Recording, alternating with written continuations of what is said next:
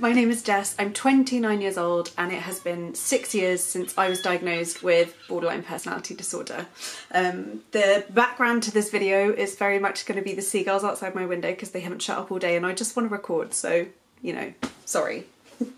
Um, I thought what I'd do is I'd start by telling you a bit about what BPD is, um, and then I'd talk to you about how I got diagnosed, uh, what the diagnosis meant for me in terms of treatment, and then sort of where I'm at now and how it has changed my life. Because it would not be an understatement to say that having a diagnosis of borderline personality disorder like changed my life in the most dramatic way. Welcome, stick around while I bare my soul in the hopes that um, somebody listening to this will be helped by what I'm about to say.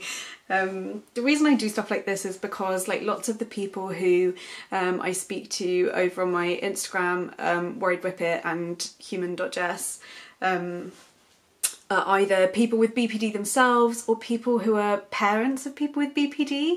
I think it's a really difficult diagnosis for people to understand, and I just think the more we can talk about it, the more we can normalise it, the more we can destigmatise it, because it's a really heavily stigmatised diagnosis, the better it is. So, um, yeah, here's just a little six year reflection from me on what it's meant to me to live with BPD. So to begin with, borderline personality disorder is the most commonly recognised personality disorder.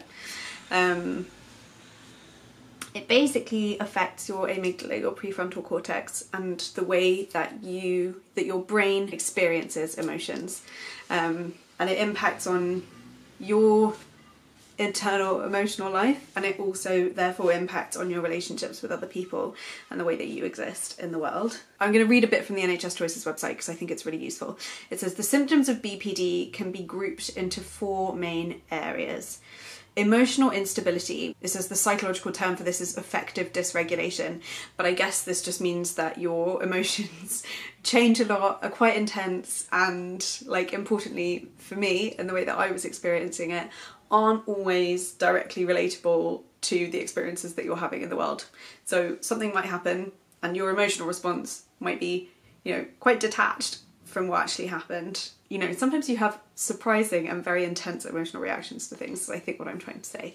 Um, and it can be very difficult for you to, to regulate those feelings. So um, quite often people with borderline personality disorder um, will self-harm or engage in certain behaviours um, like uh, disordered eating, risky sex, crude ways that you learn, I guess, to try and keep those emotions in check. The next one is disturbed patterns of thinking or perception cognitive distortions or perceptual distortions. Again, like something happens in the real world and your experience of it is very different. So um, you might think that people think certain things about you or um, jump to conclusions, make assumptions, etc.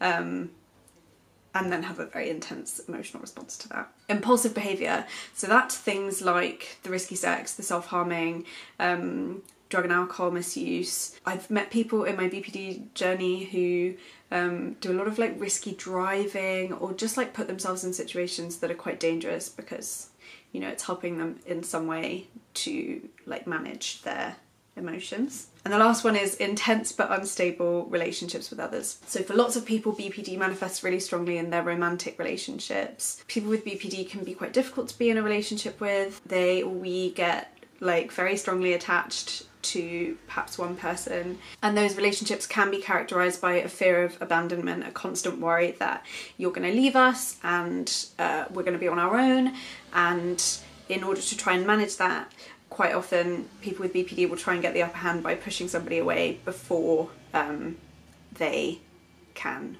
reject you I guess. All of these things, like lots of these are quite like stigmatized symptoms, I think, and um, some of them can feel very ugly when they're happening to you, you know, like um, the ways that you behave when you have this illness sometimes like don't feel great. Um, like there are certain things that I look back on with a lot of shame, but I also think that people with BPD can be some of the strongest, kindest, most empathetic people. So I think we're cool.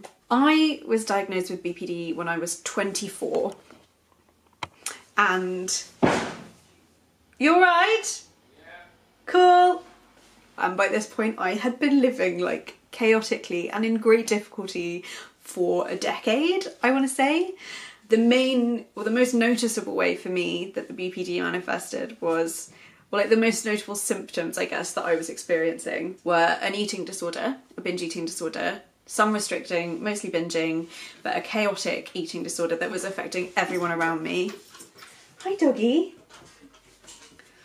Um, but especially my family. I was having real crises at meal times. I had a control issue, so like if the meal wasn't ready when I was told it would be ready, then that was like major drama. Um, and I would binge and I would like binge right before a meal time just out of like sheer panic and I was like breaking plates, like throwing things. Um, yeah, really difficult. Um, and at the time, my family were just like, you know, we were all just like, you know, Jess is just just a bit of an angry person. Like it never occurred to us that there was something much deeper going on. Um, and the, yeah, the other way I guess that it manifested was, um, well, two other ways: alcohol misuse. Like I was drinking a lot and I was really reliant on alcohol. Um, which was making my life actually more chaotic but like more emotionally manageable um, and anger like i was really my feelings really like happened to me they would settle on me and it would be like a cloud of rage. And i was very confused a lot of the time. Like i didn't understand what i was feeling or why i was feeling it but like i was not in control of how i was expressing those feelings. Um, and that was really obviously obviously you can imagine that is very very difficult. Um, I guess some of you might might be watching this because you know somebody or love somebody with BPD, and that might be familiar to you. Um, I know from like looking back at how my family found it, it was like a very intensely difficult thing for them, and you know that's hard to look back on. But um, we're in a much better place now. I had been in treatment for, not in treatment, I'd been seeing a, a therapist about my binge eating disorder. Um, I've been through a bunch of therapists, some of them good ish, some of them bad, most of them CBT therapists. And actually, the reason that the CBT wasn't working was because the eating disorder was just like really a symptom of my BPD. Um, anyway, so I had like a chaotic relationship with therapy already, and it just became apparent that I needed something more robust and so somehow I ended up my I was really lucky in that my parents had health insurance and I ended up at the Priory in North London to see a psychiatrist who was going to do me an assessment and then funnel me into the right type of therapy for whatever I was experiencing. So I went in there fully expecting him to tell me that I had an eating disorder and to be like, duh. But yes, that's not what happened.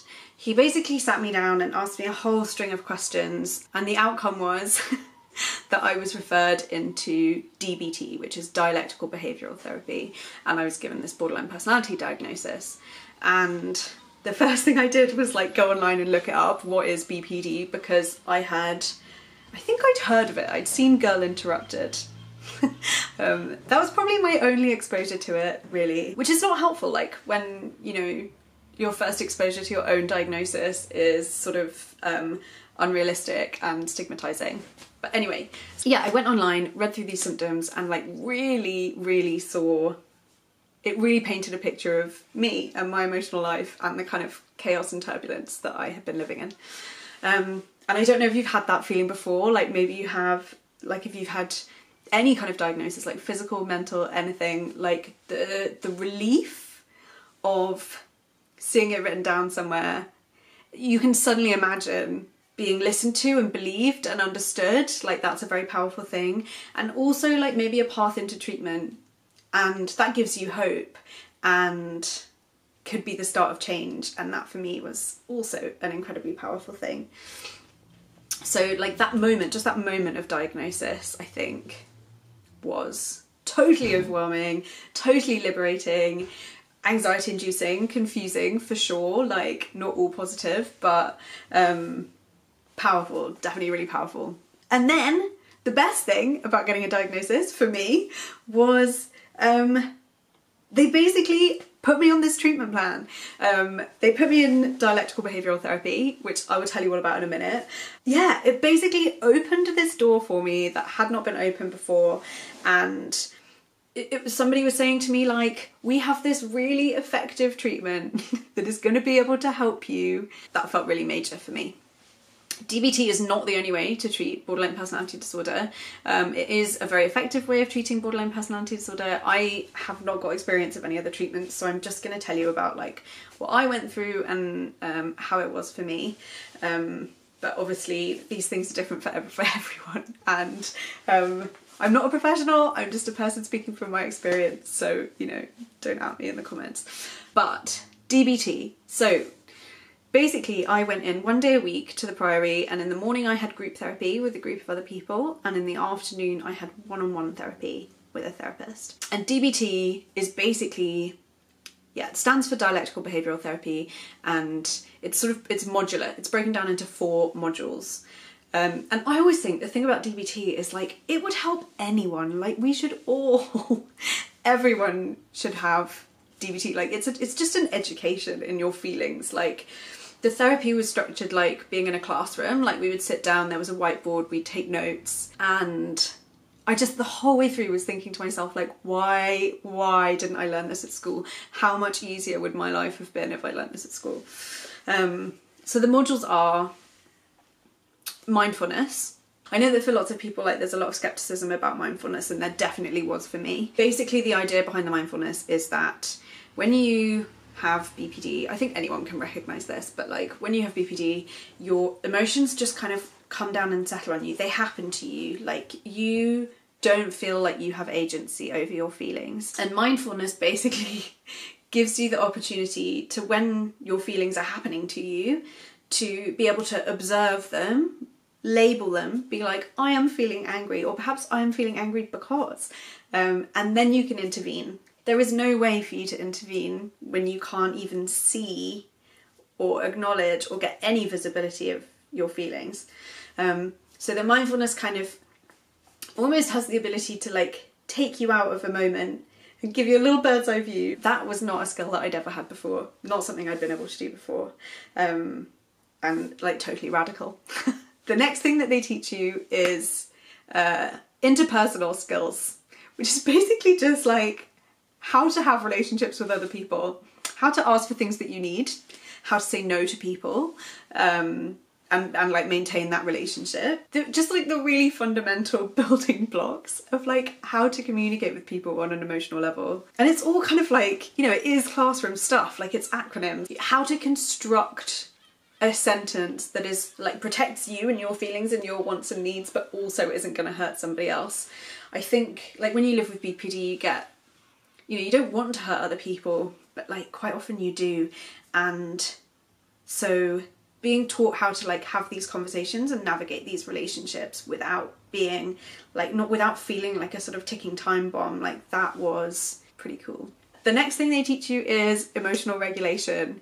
Again, like why don't you learn this as a kid? Emotional regulation was like if you are starting to feel a certain feeling, you're not in crisis yet, but you know, like the feelings are beginning to happen to you.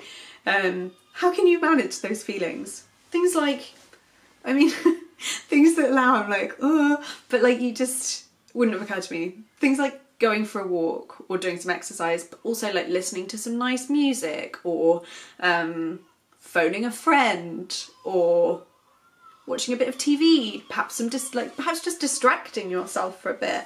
It wasn't something that I'd learned that I'd been able previously to do for myself really without resorting to things like alcohol or self-harm or risky sex or whatever it was that was you know making me that that, that was like keeping a lid on me somehow. And it also wasn't something that I'd had the opportunity to do because you know as I've described it things were just happening to me. I wasn't in the driving seat therefore um, you know, I wasn't making decisions about the things that I was doing really. That's not me making excuses for the ways that I behaved, like I totally take responsibility and ownership for things. Um, but I just mean that sort of in the, the way that my brain was working and racing and protecting me, like that's what your brain is doing when you have BPD. It's often a response to trauma. And your brain goes into autopilot to protect you from things and the ways that it does that are sometimes destructive. The fourth thing that you learn in DBT is, I can't remember what they call it, but it's basically like what to do in an emotional crisis. So this is like when you're beyond going for a walk or phoning a friend. It's when you're about to do something dangerous like self-harm or uh, whatever behavior it is that you engage in that is harmful to you. They're all kind of self harming behaviors, I guess. Things that can just give you relief in that moment of intensity, like having a really cold shower. We learnt techniques that would stop you from self harming, like sort of pinging a rubber band on you and stuff that were like, um, you know, that weren't going to do you any lasting damage, but that might try and relieve some of those really intense feelings. So, yeah, we did this in a group setting. Group therapy is just intense, really intense, but um, I kind of loved it. Like, we got quite close as a group, and I met some really, really extraordinary people who were going through some really, really difficult times, and it was a privilege to like be there in the trenches with people as we tried to do this extraordinary thing, which is like healing from a very intense psychological trauma and behavioural pattern. For me, I just came out of it a completely different person. And I know that this won't be the same for everyone. You know, there were people who found it hard and dropped out. Maybe it wasn't for them. Maybe they weren't in the right place. Um, there were people who went round multiple times and did it again. I kept seeing my therapist for years afterwards, one on one, like having weekly sessions or ad hoc sessions. Um, but by the time I came out of that therapy, I felt like I had just broken a cycle. Just the big thing for me was like was being able to see the patterns that I'd been stuck in and understand them and just feel like I was in the driving seat again in my life. I'd really lost that feeling of control and agency, and having that back was empowering and gave me hope. And the thing that happened was that my relationships began to change like a lot. Um, and I was able to heal relationships that needed healing. I was able to see relationships that weren't serving me and let them go. Um, I was able to remove myself from situations that were like triggering or dangerous for me. And yeah, it's just been a different life. So here I am now, six years later. I still have therapy sometimes on and off. Um, I don't meet the diagnostic criteria for borderline personality disorder anymore. There are still some things I live with, but like I don't live with like sort of active BPD. I'm free from like my I'm free from I don't think that's the right word, but like, you know, I don't live in my problem behaviors. I'm not using my problem behaviors. I'm not relying on like harmful things to manage my feelings anymore. Um, and I think what happened was like those skills that I was writing down in textbooks and stuff, I used them and used them and used them and used them every single day. I picked my favourite ones, I practiced and practiced and practiced, and I was like really deliberately and methodically putting those skills into use in my life. And then there came a point, I don't know how long later, where I realised that I wasn't using them in that methodical way anymore, but I just absorbed them as part of like who I was and my strategies for coping in the world. Um, and they'd sort of become second nature. And every now and again, I'll go back to them. I'll go back to my DBT textbook, or I'll go back to my, I don't know, yeah, my notes, or I'll watch a YouTube video, or I'll listen to some, I don't know, um, oh, Dr. Julie's book. Really, really good. Got to plug that right now. There's a lot of DBT in there, and I found it really useful. I'll stick a something here so you can have a look, and I'll pop it in the comments as well. But anyway, um, yeah, every now and again I go back to my skills and my techniques and stuff, but generally speaking, like, I don't need them in the same way anymore because I'm not experiencing things in the same way anymore. Yeah, like these days when I experience emotions, they're just emotions. It's not like my world changes, it's not like I see red, it's not like the most excruciating pain and nothing will ever be okay again. I can sort of like roll with my feelings. I bounce back really quickly. I didn't used to bounce back. Like something bad would happen or I would experience something badly and you know, it took me a long time to get back on my feet again. Um, whereas these days, like, I can have a cry in the afternoon and a laugh in the evening, and I'm not like plunged into the depths of something every time I hit a bump in the road. And my relationships are just so much improved. Um, I have a really great relationship with Ollie. We're getting married, and our relationship feels really calm and stable and healthy. My relationships with my family are so much better. I don't shout anymore. I used to shout so much. I used to be so angry. But the thing that I look back on now, when I look back on those years where I was like really in the throes of BPD, um, what I think about is um, there's a lot of like shame and I try I'm trying to work past that. And I do tend to dwell on like the difficult and the negative feelings that I have about it um, and I'm working on that as well. But like one of the things that I will always be grateful for and always try and keep in the front of my mind is that like when you're living with that kind of like raw emotion you know there's an awful lot of pain and an awful lot of anger and hurt and confusion but with the same intensity and the same yeah fierceness like there's an enormous capacity for like love and kindness and generosity and all of those feelings all of those like warm feelings. You feel with the same intensity and that is something really special i think. It's a superpower.